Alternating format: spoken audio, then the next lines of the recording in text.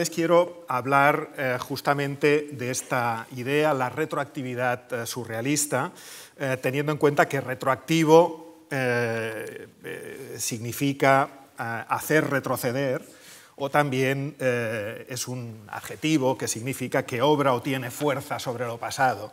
Realmente yo creo que el surrealismo es un movimiento claramente historicista, o mejor todavía revisionista, es un movimiento que necesita el pasado, que se construye sobre el pasado. Ya en el manifiesto de 1924, cuya portada tienen aquí, eh, Breton dejaba muy claro eh, cuál era la intención del surrealismo. Él decía que el surrealismo tenía que apropiarse de la realidad, eh, propiamente quería decir que tenía que sustituir a la realidad eh, decía específicamente en la resolución de los principales problemas de la vida. En la revolución surrealista, Breton empezó a publicar, eh, mientras que hay poco arte, como ven en el manifiesto, eh, en cambio, en la Revolución Surrealista, Breton empezó a publicar una serie de artículos a partir eh, del segundo o tercer número, creo recordar, eh, con el título Le surréalisme et la peinture, el surrealismo y la, pintura, eh, que se convertirían en un libro en 1928 y que mm, yo creo que para empezar permiten una Pequeña, un pequeño comentario sobre el título. ¿no? Son artículos sobre los artistas que eh, Bretón eh, no solamente admira, sino también colecciona y con los que en realidad también eh, hace negocios y no pequeños en muchos casos. desde luego Picasso es el central de todo este sistema y el primero al que se refiere en el primer artículo, este que ven de la izquierda es la primera entrega, digamos, y el de la derecha es la segunda, con una pintura de Giorgio de Quirico, y eh, en todo caso, eh, Breton es muy cuidadoso y lo que hace, como ven, es titular a esa serie de artículos el surrealismo y la pintura, con esta I eh, disyuntiva, evidentemente, entre el surrealismo y la pintura, como si intentase evitar cualquier tipo de contaminación entre las dos cosas.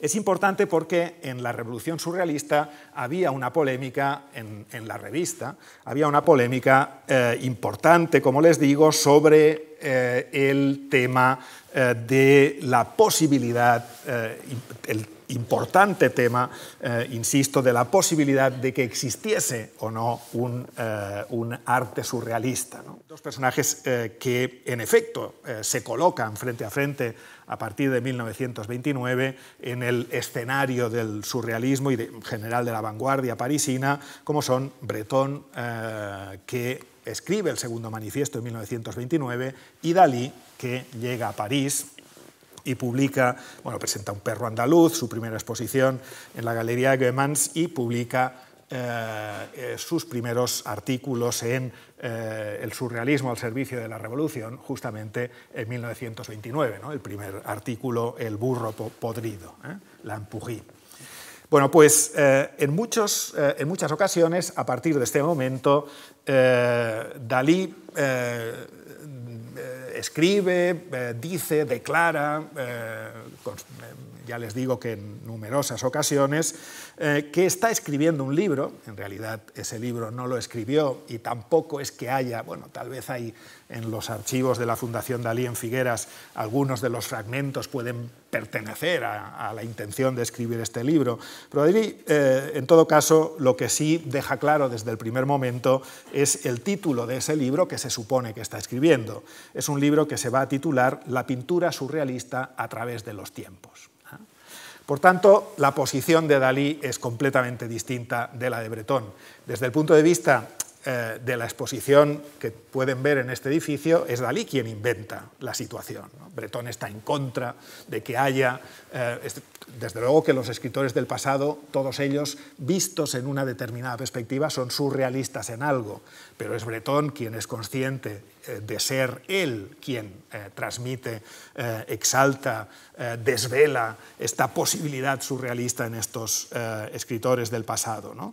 lo mismo que en el caso de Paolo Uccello. En cambio, Dalí expresamente dice que va a escribir un libro, que está escribiendo un libro, que se titula La pintura surrealista a través de los tiempos. el momento en el que, por tanto, según, ese título, la pintura surrealista ha existido siempre. ¿eh? Ha existido eh, a través de los tiempos, en efecto. La ocasión en la que Dalí insiste más eh, en que está escribiendo este libro, intenta incluso dar algunos detalles, es en 1933 eh, Dalí llega eh, a París, eh, se introduce en el círculo surrealista en el 29, en el 33, como saben, ya está en absoluto conflicto con Breton y con el grupo más ortodoxo, hay división de opinión. En 1933, Dalí hace, tiene una exposición en la Galería Pierre Coll y en el catálogo escribe un prólogo en el que un prólogo que eh, se titula eh, Carta a André Breton, es decir, que está directamente, se pone enfrente de Breton directamente, es un prólogo en el que Dalí hace eh, una... por habían ido apareciendo en, un, en, unos artículos y en otros, y también en las cartas y en sus declaraciones, pero en este texto por primera vez aparecen toda una serie de nombres, como por ejemplo el Bosco, Bregel, Leonardo, Vermeer, Bateau, Böcklin, Millet, Meissonier, Archimboldo, Bracelli, es decir, personajes que eh, constituyen todo el mundo del surrealismo, antes del surrealismo, ahora todavía, todavía y que eh, se forman en este momento. Esta es una especie de futuro canónico del arte fantástico eh, y también en, este, en, este, mismo texto dice, le dice a Breton que está escribiendo ese libro, el surrealismo a través de los tiempos y estos serán algunos de sus personajes. Todo este mundo que relaciona tantas, eh, todos elementos absolutamente dispersos, una especie de eh, fragmentos infinitos del arte del pasado en una interpretación en efecto eh, paranoica, en una reconstrucción en el presente, ¿no? como la eh, que eh, Dalí propone, que finalmente culmina en sus textos, en sus pinturas, pero sobre todo en un proyecto que aunque se muestra fragmentariamente, finalmente se abre a todos los personajes del pasado, al mundo entero del pasado, tardará poco en institucionalizarse. No digo que sea Dalí el único que la inventa, pero probablemente es el más importante de los que, y desde luego el que la populariza, toda esta historia eh, retrospectiva, toda esta pintura, historia de la pintura surrealista a través de los tiempos, los personajes que componen esta historia de la pintura surrealista a través de los tiempos. Dalí no es el único, pero es el que eh, eh, escoge a sus personajes, los pone en funcionamiento en una maquinaria con mayor eh, intención y desde luego los populariza eh, más. Eh, pero pasan muy pocos años para que todo eso se institucionalice, en el sentido más estricto, crear institución, en el sentido más estricto de la palabra. En 1936, el texto de Dalí es de 1931, eh, la, carta de Breton del 33, en 1900, eh, el primer viaje de Dalí a Nueva York del 34, y la primera exposición de Dalí en Nueva York tiene un catálogo donde aparecen sus obras y al final eh, una obra de, del Bosco, que evidentemente no estaba en la exposición, pero que Dalí añade como una especie de continuidad lógica con su obra continuidad hacia atrás, continuidad retroactiva de su propia obra.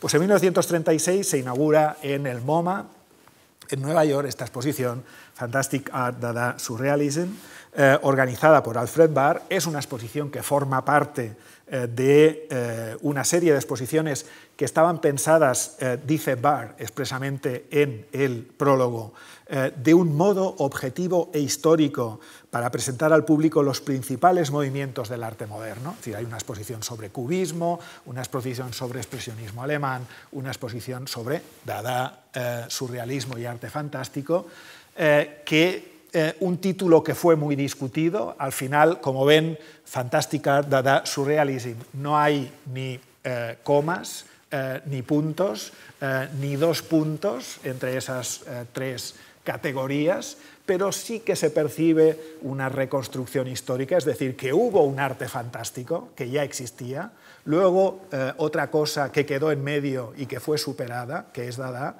y aquello que lo superó y que está vivo, que es el surrealismo. Es decir, el mundo se construye sobre el modelo surrealista que va dejando a su paso cadáveres del presente pasado y del pasado lejano, y que los va eh, absorbiendo. ¿no?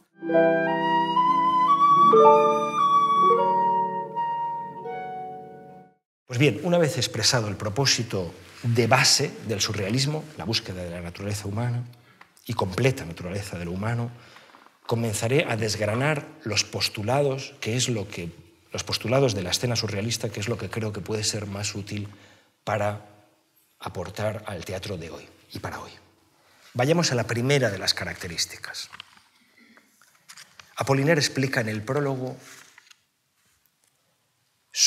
la necesidad de que los temas, los temas de esta dramaturgia sean lo bastante generales como para tener influencia en la mente, en la sensibilidad y en la voluntad del público.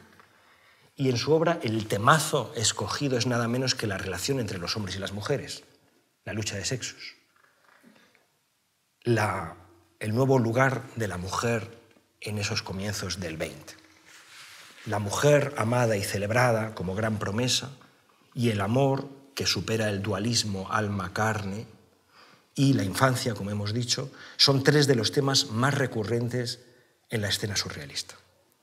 Con todo, no es este primer rasgo el más relevante. Mucho más es el segundo rasgo en el que me detendré un poco más y que me encanta, que es la propuesta de un teatro teatral y antinaturalista. Apollinaire dice una frase que es genial, que quizás ustedes conozcan porque es muy conocida, que es cuando el hombre quiso imitar la marcha, el caminar, creó la rueda, que no se parece nada a una pierna. Así hizo su realismo sin saberlo. Genial. Así como la rueda no se parece en nada a una pierna, el teatro no debe parecerse en nada a la vida cotidiana. El teatro es reflejo del mundo, sí, pero ¿de qué universo quiere ser reflejo ese teatro? Así habla el surrealista Andrea de Quirico. Quiero un teatro en el que se refleje el universo entero del hombre, lo aparente y lo que late en lo profundo. Donde en el escenario viva todo cuanto vive en el universo sin restricción alguna, donde pasen los personajes que quedaban siempre en sombra, los animales y los objetos inanimados, los vegetales y los minerales, los elementos de la naturaleza y hasta los más recónditos pensamientos. Un teatro en el que el espejo nos diga qué es lo que tanto le atrae de nuestro interior, en el que la prosa se haga música y la poesía se haga prosa para hablarnos de su vida íntima. Tercer postulado, y tiene también su interés, eh, tiene que ver con la necesidad de contrastes, con la necesidad de mezcla de contrarios para hallar la chispa poética surrealista. Y esto va más allá de lo que Apollinaire eh, habla en el prólogo, que es la necesidad de mezclar géneros y estilos, lo trágico y lo cómico, ¿verdad? El surrealismo en general siempre parte de una visión eh, eh, pesimista, cruel, violenta de la vida, pero se sirve siempre, y esto es esencial, del humor y a veces de la ternura como vehículos imprescindibles para esa visión pesimista para que lo más grave y oscuro sea visto con la mayor ligereza y sin desespero, que la mayor infelicidad sea vista desde el ángulo de una ironía benévola que permita reír. Un cuarto rasgo, vamos a hablar un poco sobre la manera de componer las obras, eh, las, las obras que hacen los surrealistas. Ya hablaremos de estructura, de lenguaje y de personajes. Las obras de los surrealistas se construyen en secuencias parciales según la lógica contradictoria y discontinua de los sueños. Y dan como resultado, desde el punto de vista compositivo, obras de estructuras fragmentarias que piden montajes en forma, de collage. La forma que mejor se adapta a este lenguaje surrealista es el diálogo en el que dos pensamientos se ponen frente a frente. Las palabras se ofrecen únicamente a modo de trampolín al servicio de quien escucha y rebota. un ejemplo. Un niño le pregunta a un señor, Señor, ¿qué lleva en los zapatos? Señor, elefante, elefantes bajo palmeras. Niño, ¿y ese león que nos mira? Señor, es la libertad. Niños, queremos más, más. El Señor, cariño, ¿no tienes nada para estos niños? Señora, dejad en paz a vuestro padre. Niño, no es nuestro padre. Señor, ¿y quién es vuestro padre? Niño, el caballo de la panadería. Escritura rápida, sin ideas preconcebidas ni tampoco correcciones posteriores, una escritura sin puntuación, de continuo flujo y muchas veces sin final, al igual que los problemas sin solución, pero esto ya lo descubrió Chejo, sin final. Apolinar en su prólogo propone un teatro más vocal que gestual. Apolinar escribe en verso libre que se asienta más en el ritmo y en la respiración que no en la rima y el verso medido, porque la rima y el verso medido condicionarían la espontaneidad y la libertad creativa del autor tan esenciales. Se pone así el acento en lo imprevisible y la sorpresa provocadora. Vamos a la quinta y última de las, de las características, que es la búsqueda de la catarsis del público. Ya hemos hablado antes del teatro de la infancia, que el teatro solo tiene sentido si se produce esa transformación, esa catarsis. La emoción,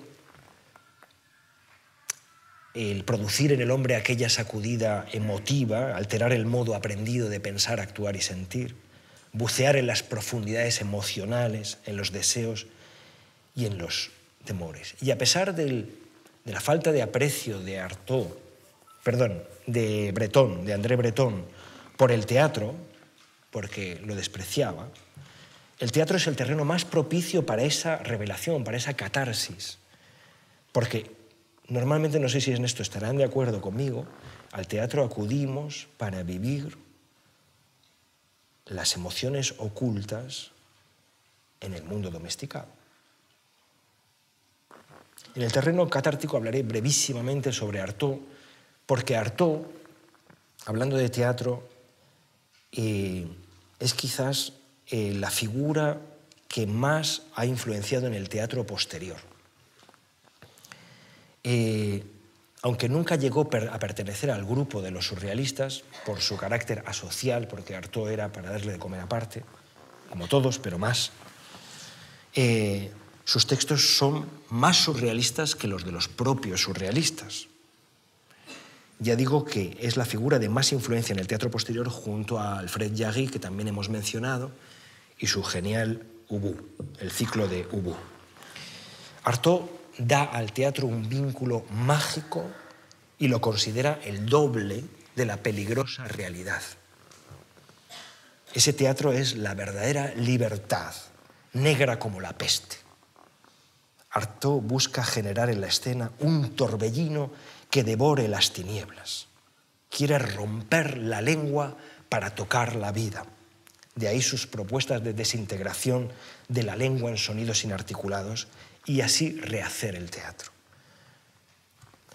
Solo mencionar el título de una de sus obras, El chorro de sangre, ya nos, nos da la medida de ese teatro pesimista, cruel, violento,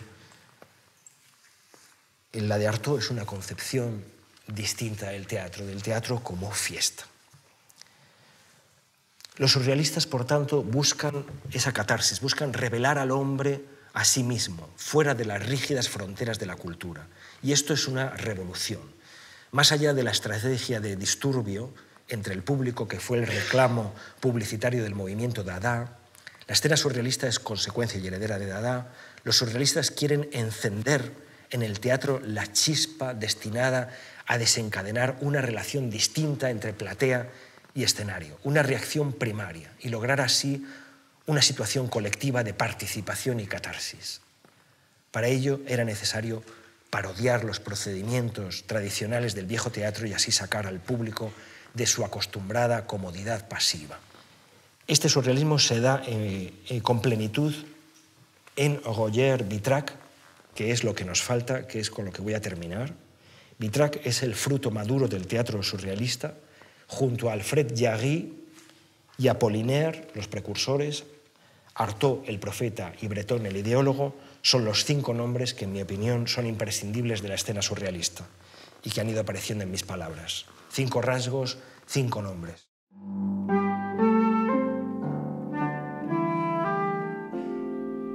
Los surrealistas, claro está, eh, enseguida sintonizaron con el cine. Eh, una, una, frase de Buñuel, de Luis Buñuel, eh, paradigma de cineasta surrealista, es la primera película que vemos en nuestras vidas son nuestros sueños. La primera película que vemos en nuestras vidas son nuestros sueños. Los, proyectamos en la cabeza. ¿eh? pienso que es la buena. Y efectivamente, eh, los surrealistas eran muy cinéfilos. Cuando entramos a ver la, producción de los surrealistas, el cine surrealista, hay un gran debate. Hay un gran debate porque eh, esta película es surrealista. Bueno, no, tiene una escena, las escenas son oníricas, las escenas de sueños. Todas las películas que tienen escenas de sueños las escenas de sueños, en general, el 90% son surrealistas, porque los sueños son mm, descoyuntados, no tienen lógica, eh, pasan cosas inverosímiles. Por lo tanto, toda película con un sueño tendría un cachito, de un trozo surrealista. ¿no? Eh, pero el tema de cuáles son las películas surrealistas canónicas, auténticas, que, admitidas, eso da pie a grandes debates.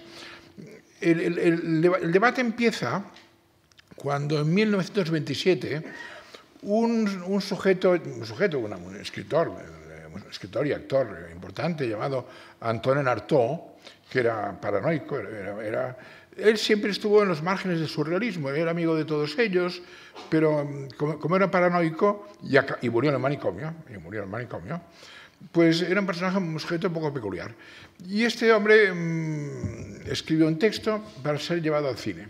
Ese, texto se titulaba La concha y el eclesiástico, o La concha y el clérigo.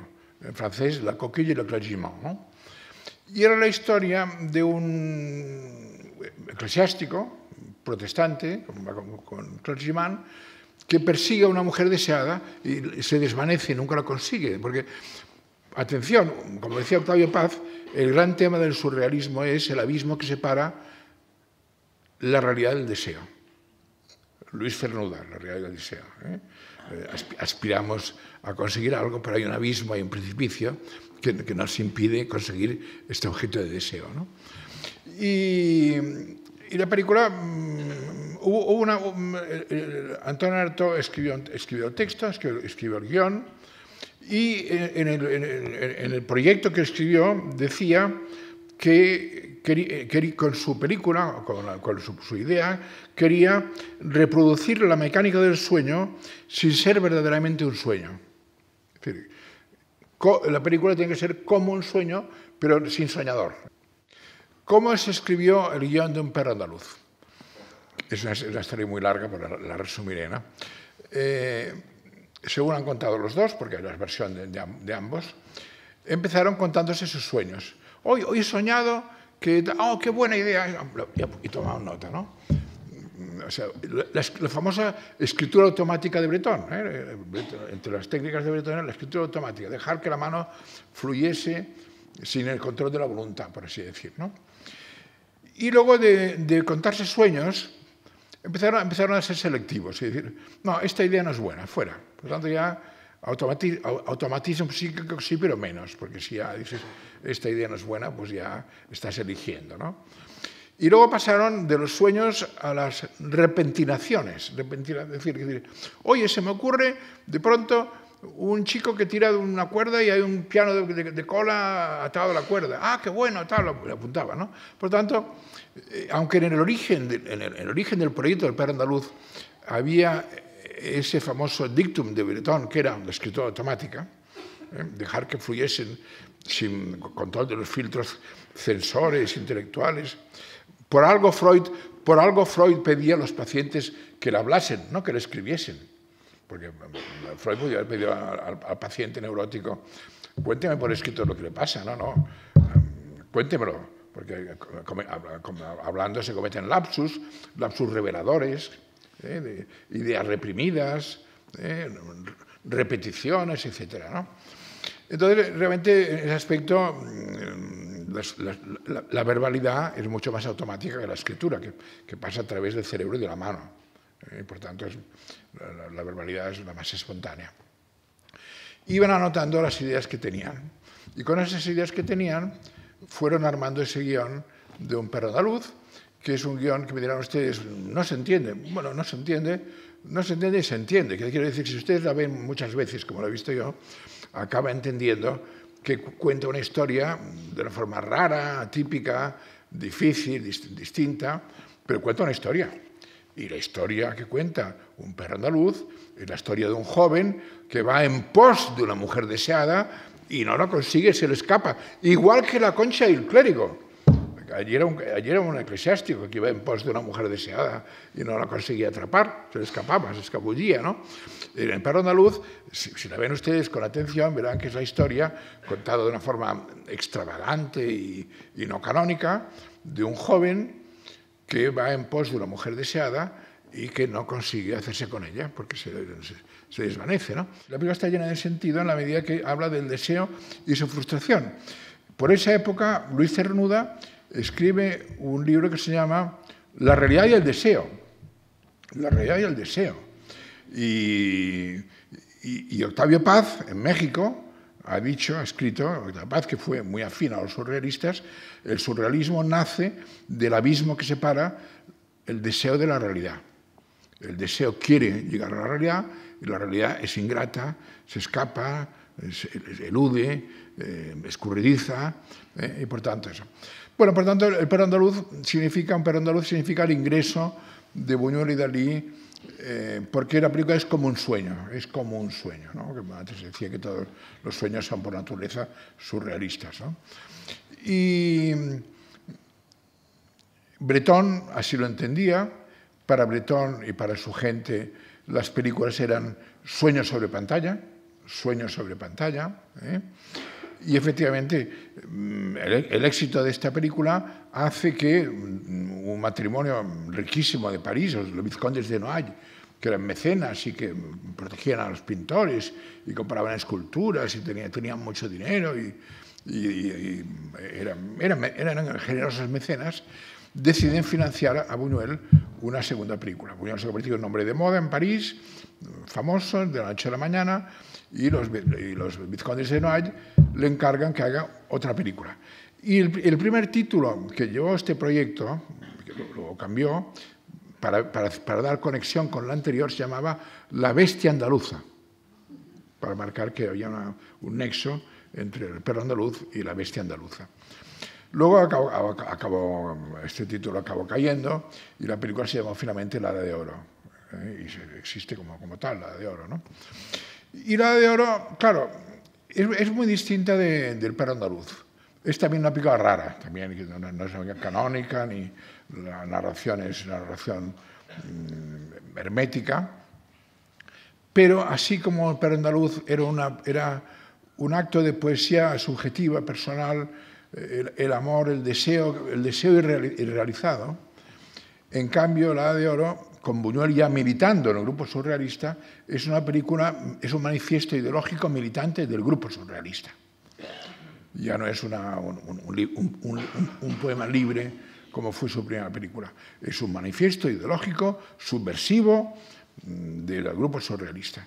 Y la prueba es que cuando sale la película eh, sale acompañada de un manifiesto escrito por el grupo surrealista apoyando la película, una película revolucionaria, porque los surrealistas querían cambiar el mundo, como he dicho antes, y cambiar la vida. ¿no? Y para cambiar el mundo hay que dinamitarlo. Y para ellos, evidentemente, La de Oro era efectivamente una película que era pura dinamita. Tan dinamita era que bueno, el, núcleo, antes he definido en Perú Andaluz como un joven desea una, muchacha y no, la consigue. En, en la de oro, si tuviese que resumirlo, sería eh, la pareja desea amarse, pero las instituciones, la patria, la religión, el ejército, eh, impiden la unión amorosa de una pareja que se ama o que se desea. Y en ese aspecto era una película más ideológica, mucho más, era una película claramente ideológica, ¿eh? claramente ideológica y muy, muy, muy, muy, revolucionaria, muy rupturista. Aparte del cine propiamente surrealista, de militantes surrealistas como Buñuel, como Dalí en cierta época, etc., hay una cinefilia surrealista.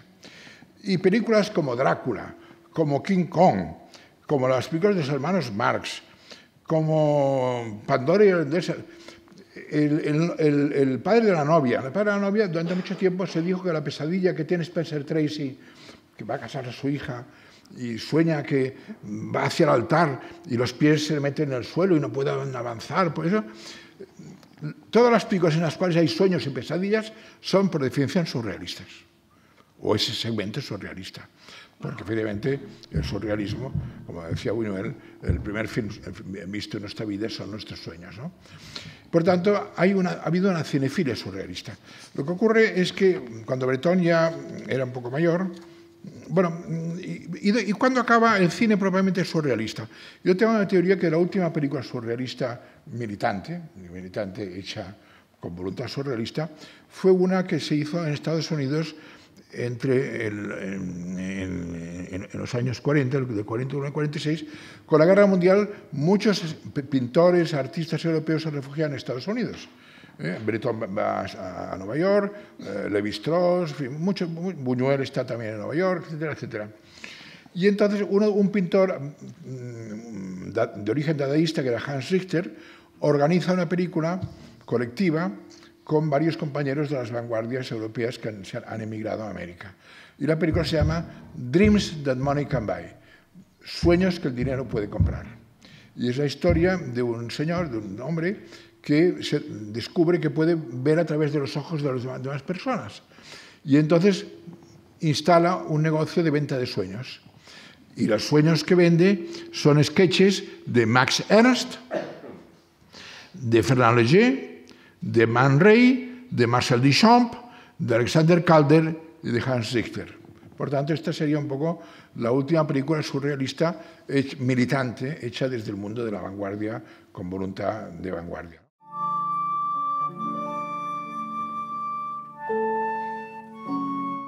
Seguimos un poquito esta primera parte hablando de la obsesión por los ojos y por el tipo de mirada capaz de percibir esa realidad eh, superior o su realidad. Eso se plasmó en, asimismo en la más conocida escena de la primera película surrealista de Dalí Buñuel, en la que hemos hecho referencia, Un perro andaluz. Eh, de todos es conocido pues, eh, ese momento en el que a la señora se le corta el ojo con una navaja más que algo sádico, eh, simbolizaría o podría simbolizar la, destrucción de la visión exterior o convencional, la búsqueda de una visión más allá de la mundana, la ceguera del visionario. Eh, esta película era de 1929. Yendo más atrás, Max Ernst eh, había representado ya en 1922 en una ilustración para la cubierta de un libro de Paul Elbart un ojo atravesado por un hilo. Este tema del ojo atravesado normalmente era en la antigüedad por un héroe, era pues, uno de los leitmotivs de la pintura antigua. Vemos aquí eh, a Peregrino Tibaldi, un pintor del siglo XVI, como representa a Ulises pues, clavando la lanza en el ojo del cíclope Polifemo. Eh, o a Paolo Uccello eh, en San Jorge y el Dragón, yendo todavía más atrás, a finales del siglo XV, pues como San Jorge clava eh, su lanza y atraviesa el ojo del dragón. Este cuadro de Paolo Uccello, eh, aparte de sus posibles connotaciones sobre la mirada interior, nos introduce en otro de los grandes temas del surrealismo, que es la perspectiva. La perspectiva, que en realidad tiene que ver con la mirada, con el punto de vista, y que en muchas ocasiones, como eh, se resalta en la exposición que tenemos aquí, pues va unida a ciertos espacios mágicos. Paulo Uccello, eh, muchos de los que están aquí ya lo saben, pues era uno de los artistas más admirados por André Breton. En realidad eh, fue el único pintor que apareció citado en el primer manifiesto, el único pintor antiguo. Como sabemos, pues se decía de él que su máxima obsesión era representar la perspectiva. De hecho, Giorgio Vasari en su biografía le atribuyó la expresión «Oh, qué cosa tan dulce la perspectiva» se suponía que estaba obsesionado por eso y que no pensaba en otra cosa. Sin embargo, lo que quiero resaltar aquí es que, a diferencia de otros pintores de su tiempo, él no utilizaba la perspectiva para dar un orden lógico a sus composiciones, o sea, para situarlas dentro de un espacio finito, mensurable, sino más bien para mm, recrear escenografías fantásticas y visionarias en espacios indefinidos, como ocurre en este cuadro. Eh, el cambio de perspectiva brindaría a quienes contemplaban los cuadros la posibilidad de cuestionarse a sí mismos y de modificar sus juicios o puntos de vista habituales. De ahí el gusto por las anamorfosis, que eran figuras eran y son figuras deformadas por procedimientos ópticos. Anamorfosis en griego literalmente significaría retransformación. Y bueno, pues vamos a ver algunos ejemplos de anamorfosis dos, ojos anamórficos o deformados, este primero del siglo XVII, el ojo del cardenal Colonna de Mario Bettinus, y este segundo de un artista húngaro contemporáneo, eh, un ojo anamórfico también.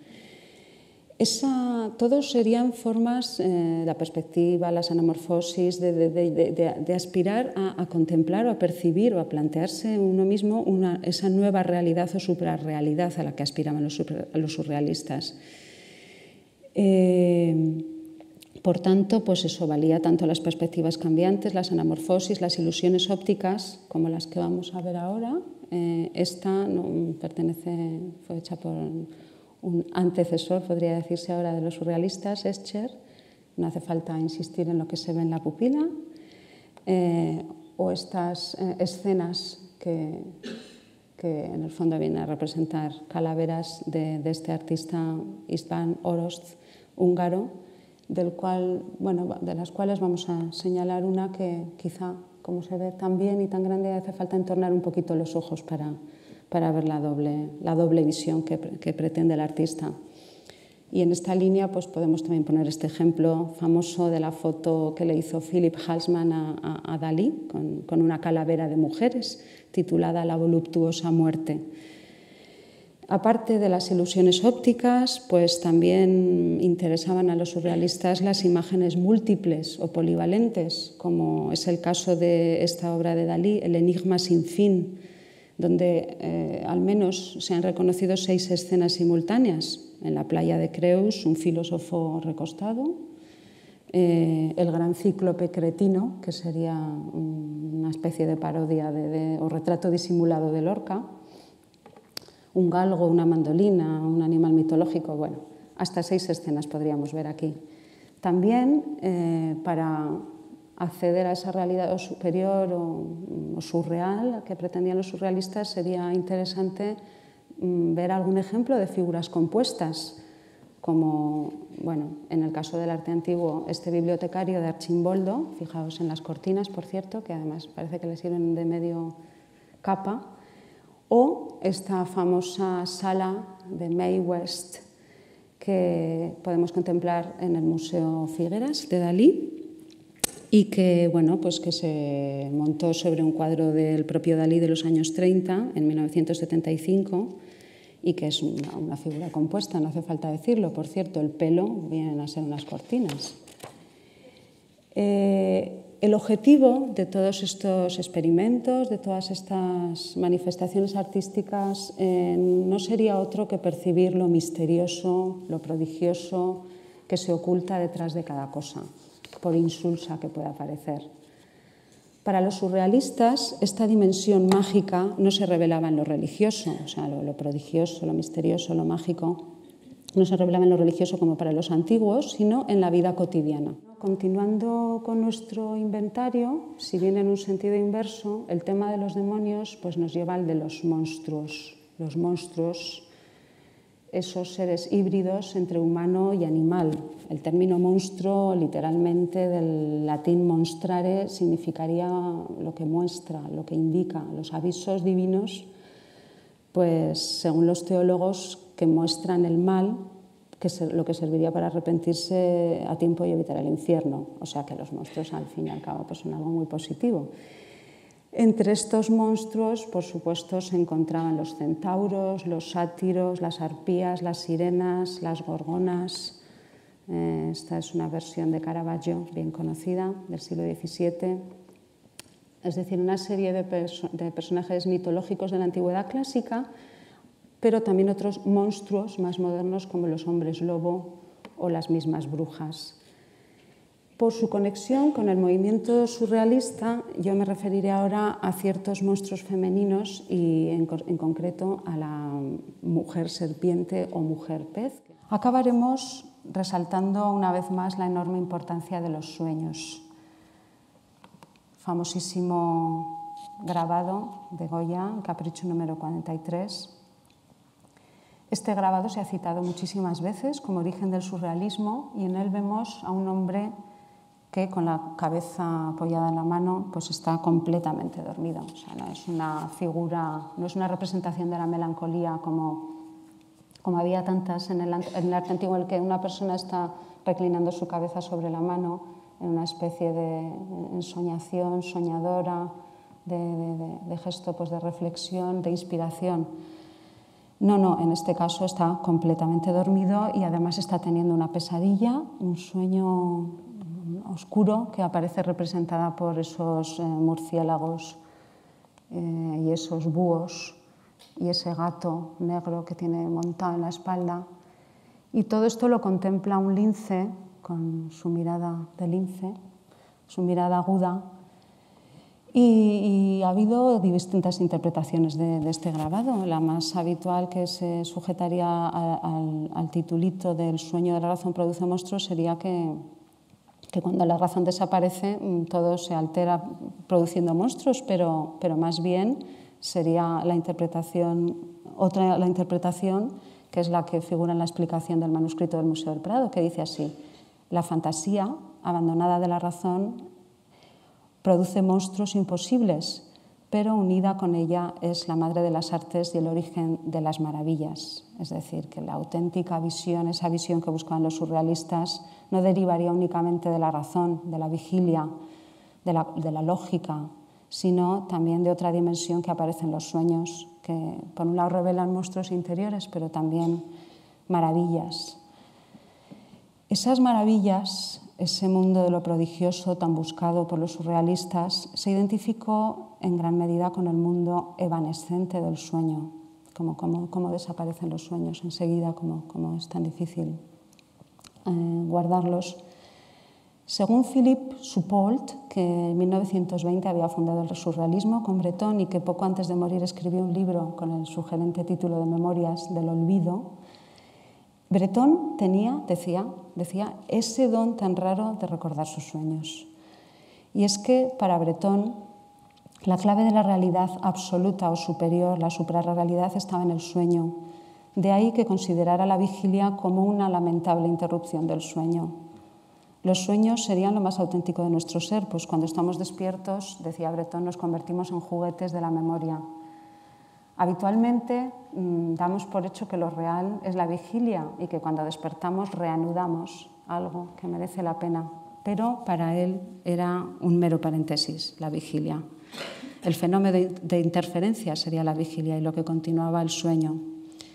Escribía Breton, creo en la futura armonización de estos dos estados aparentemente tan contradictorios que son el sueño y la realidad, en una especie de realidad absoluta, en una sobrerealidad o surrealidad. Y como el tiempo se agota, terminaré con tres de las muchas preguntas que planteaba Breton en su primer manifiesto, que os recomiendo leáis. Si no lo habéis hecho ya, ¿qué, qué serían? ¿Cuándo llegará, señores lógicos, la hora de los filósofos durmientes? ¿Por qué no espero de los indicios del sueño más de lo que espero de mi grado de conciencia? ¿No cabe acaso emplear también el sueño para resolver los problemas fundamentales de la vida?